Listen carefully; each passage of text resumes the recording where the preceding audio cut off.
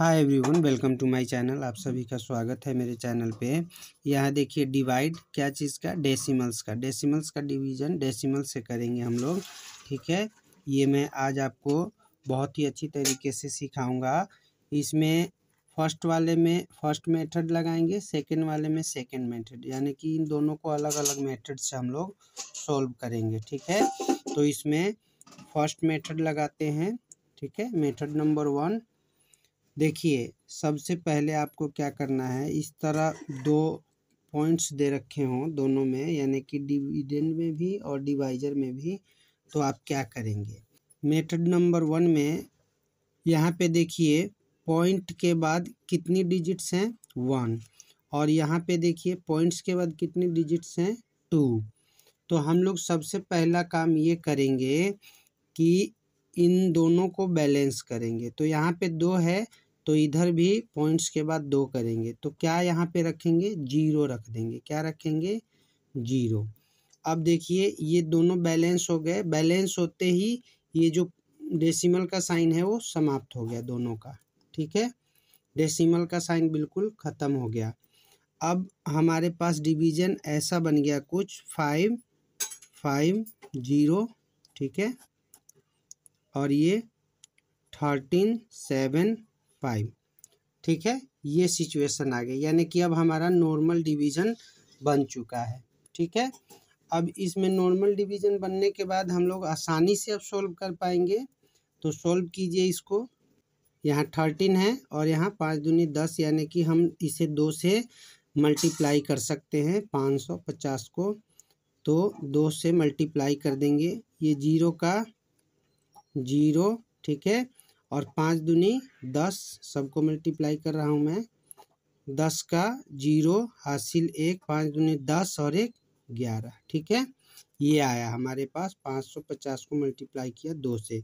अब डिवीज़न में हम लोग क्या करते हैं? माइनस तो माइनस करेंगे, पाँच में से ज़ीरो जाने पे पाँच, सात में से ज़ीरो जाने पे सात, तीन में से एक जाने पे दो, और ये एक में से एक जाने पे ज़ीरो, कुछ भी नहीं।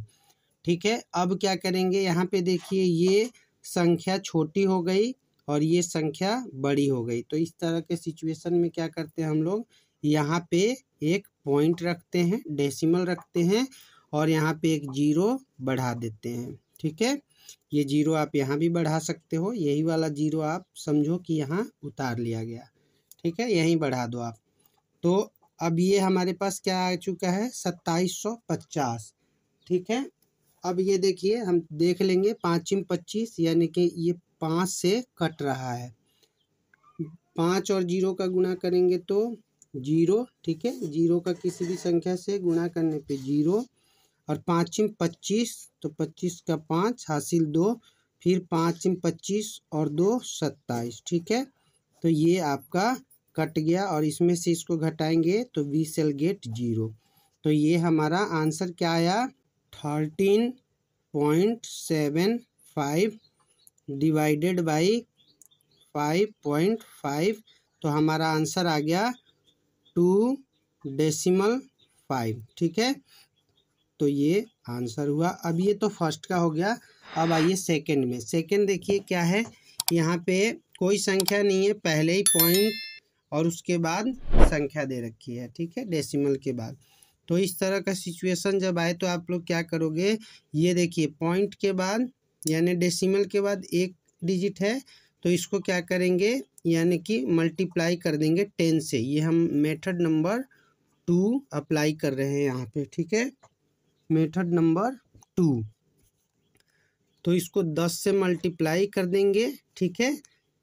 पॉइंट के बाद एक संख्या है तो उसके लिए हम दस से कर रहे हैं। अगर दो होती तो सौ से करते, जितनी भी होती उतनी ज़ीरो हम बढ़ा देते।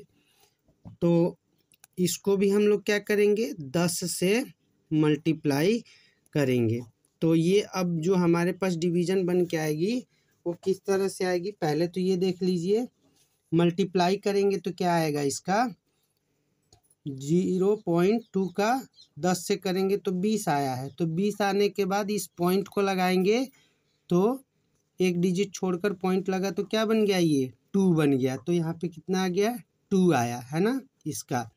अब इसी तरह दस पॉइंट सिक्स को टेन से किए तो कितना आया?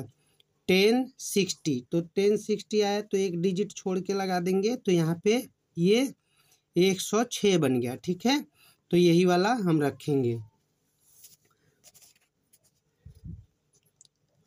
एक सौ छ ठीक है, ये पॉइंट ख़त्म हो गया। दोनों के पॉइंट ख़त्म हो चुके हैं। तो अब हमारे पास डिवीज़न क्या बन गया? टू, यहाँ पे एक सौ छ ये हमारे पास नॉर्मल डिवीज़न आ गया। मुझे उम्मीद है कि बहुत ही अच्छी तरीके से ये आपको समझ में आ रहा होगा। पाँच दूनी दस। ठीक है?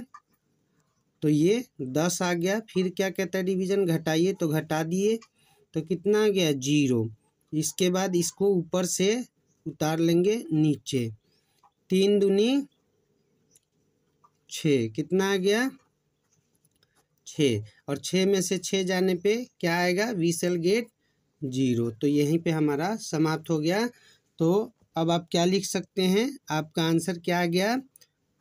टेन पॉइंट या decimal six divided by zero decimal two is equal to fifty three. ये आपका आंसर है और मुझे उम्मीद है कि बहुत ही अच्छी तरीके से ये दोनों मेथड्स आपको समझ में आ गए होंगे और इन्हीं दोनों मेथड से डेसिमल्स के क्वेश्चन सॉल्व किए जाते हैं।